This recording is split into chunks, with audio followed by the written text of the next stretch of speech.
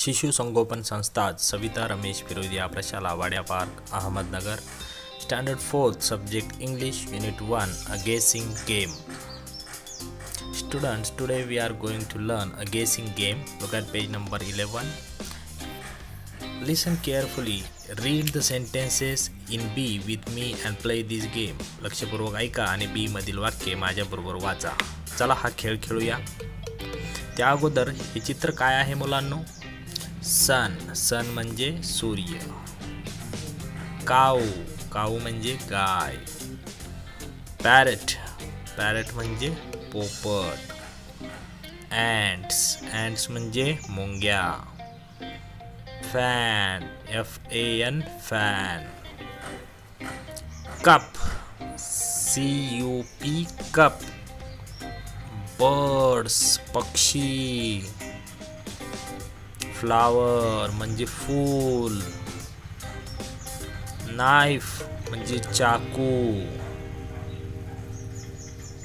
Duck D U C K duck म्हणजे बदक, हा काय आहे? एलिफंट म्हणजे हत्ती टेबल आपण मराठीमध्ये चार पायी म्हणतो.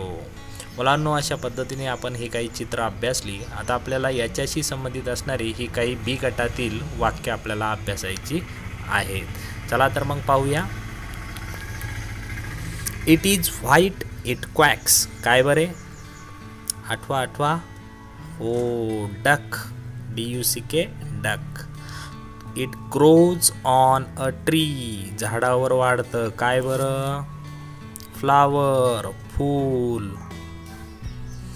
third one it shines in the sky it is hot sun she gives us milk दूध देते cow it rhymes with pup Papla rhyming word cup it is green it flies ते हिरव्या रंगाचं पॅरट दे आर स्मॉल छोटे आहेत दे bite चावतात ants it has four legs and top त्याला चार पाय असतात They fly in the sky आकाशात उडतात. Birds it has a trunk trunk म्हणजे सोंड. And two big ear elephant we cut vegetables with it knife चाकूने vegetable कापतो. It has three blade म्हणजे त्याला तीन पाते असतात. काय?